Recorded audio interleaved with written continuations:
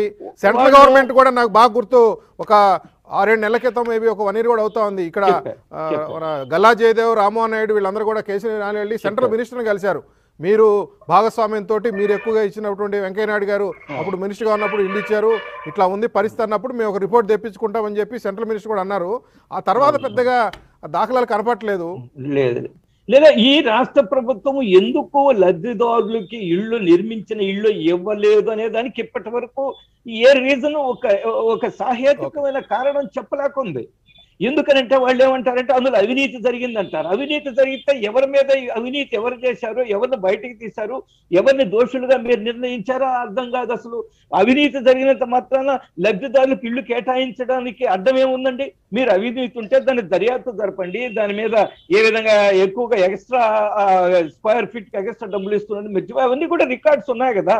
కానీ ఇల్లు లబ్ధిదారులు కేటాయించడానికి మీరు అవి- అవినీతి పైన దర్యాప్తు జరపడానికి సంబంధం ఏందో నాకైతే అర్థం కావడం లేదు. నేనేమంటున్నట్టు ఇది కేవలము గత ప్రభుత్వం చేసింది కాబట్టి ఇది గుడ్డి వ్యతిరేకత తప్ప ఇంకొకటి ఉందని నేను అనుకోవడం లేదు.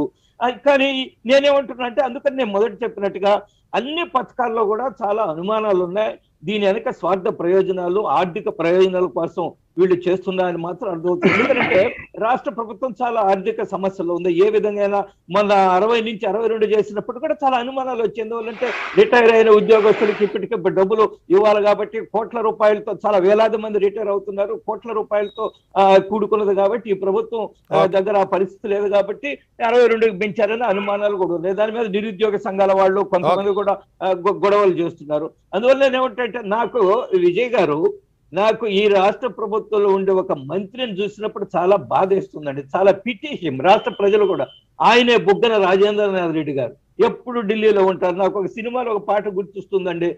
అంత బొవ్వు ఉంటే పెట్టమ్మో ఇంత కూర ఉంటే ఎయ్యమ్మో అని ఆ సినిమాలో మనం పాట ఆ పాట చూస్తుంటాం. కొంచెం రాజేంద్రనాథ్ రెడ్డి గారి పరిస్థితి కూడా అదే ఉంది. ఆయన అదేదో కుడికిన పడ్డ ఎలుకలాగా చాలా ఇబ్బంది సీతమ్మ గారు కరుణిస్తారేమోనని ఆయన తిరుగుతూ ఉన్నారు సార్ ఢిల్లీలో మరి. ప్రభుత్వం పరిధిలో ఎనివే ఎస్ సరే